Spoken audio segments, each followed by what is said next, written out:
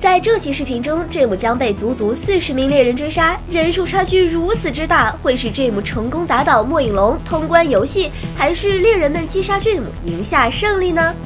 游戏一开始，Dream 环顾四周，不断寻求着突破口，来回扫视几遍后，Dream 抬起手便给了 Ant 一个大耳光，直接开始逃亡。猎人们紧随其后，Dream 直接跳入水中。在小海豚的帮助下，Dream 瞬间化身迪士尼在逃公主，与猎人拉开距离。之后，Dream 发现了一个沉船，面对沉船中的大量物资，Dream 只拿了一个天梯，这是又要有什么骚操作吗？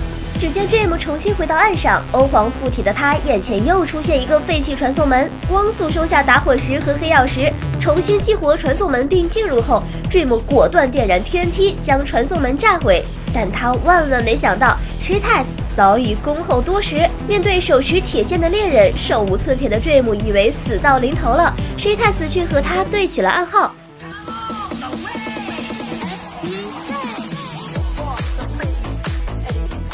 Dream 成功对上暗号，是 Tess 信守承诺饶他一命，但转身就将传送门重新激活，让其余三十九个猎人成功进入下界。Oh Dream，there's nothing you can do。面对猎人们排山倒海的追击，Dream 节节败退，毫无招架之力，只能一味逃跑。危急时刻，Dream 急中生智，使用打火石筑起一条火线，想放缓猎人追击的步伐。但猎人们步步紧逼，丝毫不给 Dream 喘息的机会。很快，Dream 便被打得只剩一丝血量。这一次，Dream 还能死里逃生吗？Get him.？What? What are you doing? Oh my God! What? How? What? What did he do?